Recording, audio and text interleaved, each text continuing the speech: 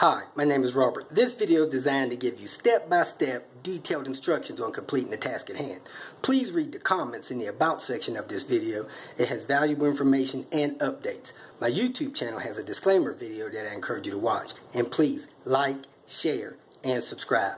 I hope you found what you're looking for. Thank you very much for watching. Okay, it's round two or perhaps round three on uh, chasing down my turbo inconsistent boosting problem over boosting one day, under boosting another. As you can see, I'm cruising down the highway about 55. I'm about to punch it so you can see where my boost gauge go and hopefully my tach as well.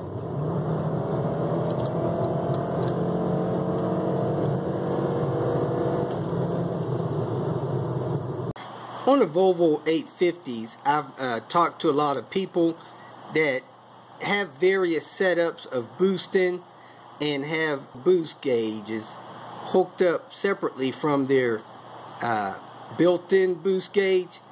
And from talking to them and getting several feedbacks it appears that these uh, boost gauges that are built in on the 850s uh, display boost in this kind of fashion. A third of the way is about five pounds. Two-thirds of the way is about 10 pounds or 10 psi and all the way to the edge of the white area to the right is about 15 pounds of boost. And uh, so when you're driving your 850 and you put your foot in it and your turbo spools up you should be getting these kind of boost readings. At watt the uh, standard 850 is supposed to get about nine and a half pounds of boost and your R850 should get about 10 and a half pounds of boost. And if you're getting more boost than that and you don't have a tune you could be over boosting and if you're not getting as much boost as that 10 pound line then you're probably under boosting and need to get that fixed. Due to the fact that I'm under boosting I believe I may have a problem with my bypass valve either broken or has a leak in it. So I'm going to try to pull vacuum on it and replace it if necessary. I uh, hooked up a vacuum pump to my bypass valve down there, blow off valve they call it, and I had zero vacuum on it. I went to the salvage yard, uh, pulled vacuum on the bypass valve there, and I got a lot of vacuum. So I'm going to assume my diaphragm is torn. Let me show you what it looks like. Uh, because of my situation, I pulled the one off the junkyard. It would be better if you bought these, purchased these parts new. This is what that uh, blow off or bypass valve look like when it's attached to the turbo. That's the little nipple that's on it that I pull vacuum from. When you look at the inside, there's a rubber diaphragm. It has a little hole in the middle of it, I think, that bleeds off pressure, and it's got a spring behind it. So, uh, when you pull this thing apart, I bet mine is torn. I'm going to show you it in a, in a minute when I get it out. Uh, but, going out. It's got a spring behind it and a little plastic piece, and that's the housing for it. And, you know, at certain pressures, this will release and let air blow into the uh, intake manifold. So let me work on getting mine off to see what kind of condition mine is in. And uh, it's a little bit hard to access, so I'm going to take a few parts off to get at it. In this video, I'm going to be replacing my bypass valve that's mounted on the front of my turbo.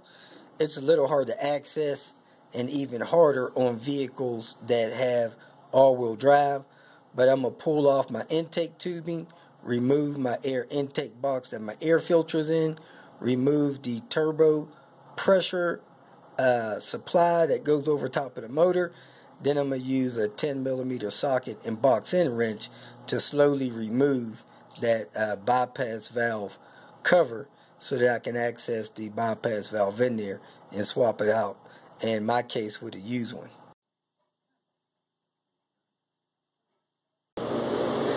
So the first thing you do is remove this intake tube. You pull it back and pull it off of the bottom of the air box. If you have a throttle body cover, take a T25 and remove it. Uh, I'm going to be laying across the engine and I didn't want to break mine, so I went on ahead and pulled it off. Next, I'm going to go ahead and remove the air box out of the way because I need that space to get to these bolts. So I'm going to unplug the mass airflow sensor. I'm going to take this loose with a 7 millimeter. I'm going to unscrew the uh, BCS from the side of the box and I'm going to lift the box out and out of the way. When you take the air box out, be careful not to let the back of it get hung up on things. Uh, sometimes the clip will try to clip on something else and uh, make sure you got your coil wire loose from the back of the air box.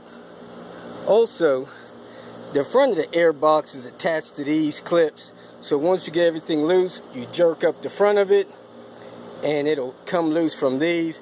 Then the back of it has a pin that sticks to through this fender mount and then you lift it up like that. But once you get it up a little bit you'll take the two screws out of this BCS and of course you're to unplug the electrical connector off of it so that it doesn't get abused or jerked around or any of the wires damaged on that.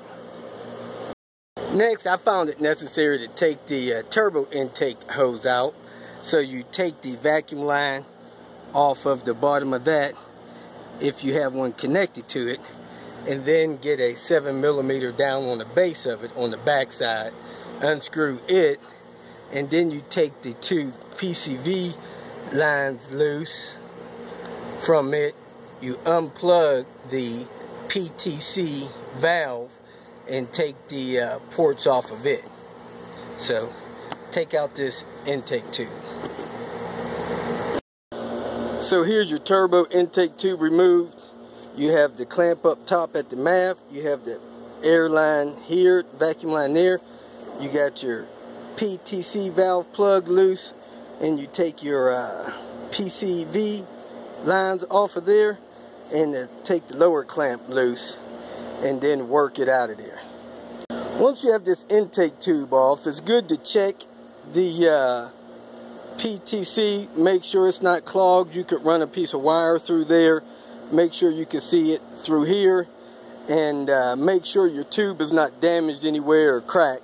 If this tube has a uh, cracks or holes in it, you'll lose performance, maybe economy and stuff like that. That's my turbo intake there, and this is my bypass valve down here.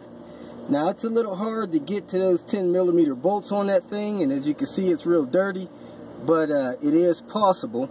Just try to make sure you don't damage anything else when you're taking those uh, lines loose and taking that valve loose.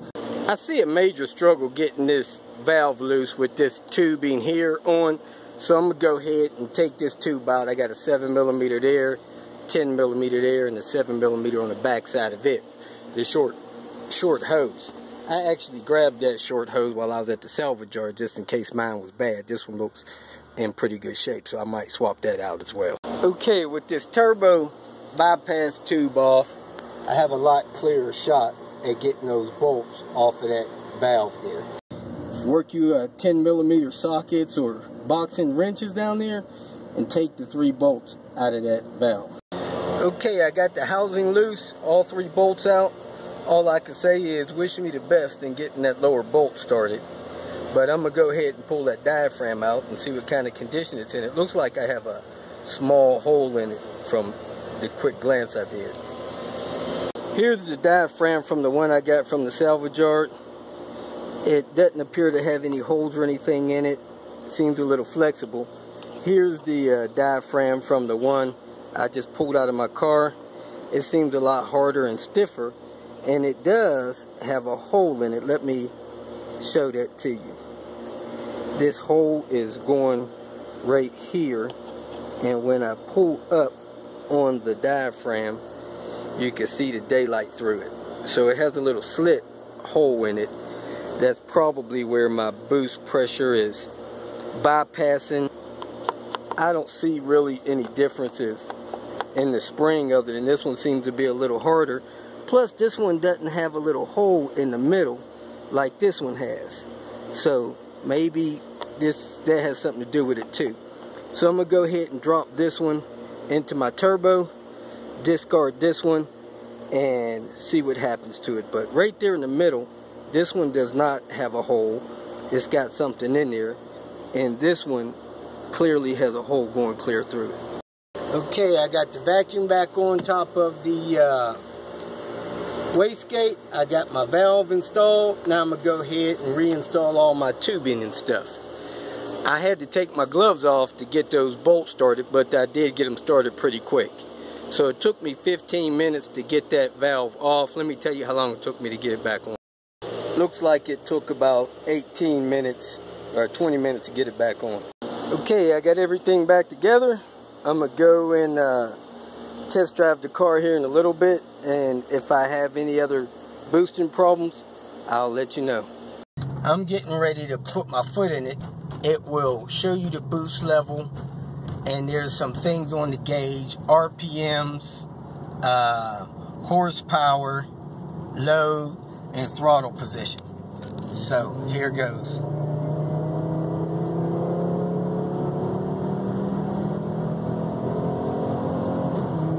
Looks like it's boosting about 15 psi or 12 psi right there for a few seconds. If you feel that this information was useful, please like it and share it with your social media friends. You can subscribe to my channel so that you will get notifications of future videos that I post. You can follow me on Twitter, and if you need to contact me directly, please visit my website. And if you have any questions, leave them below, and someone or myself will reply to them. Again, thank you very much for watching.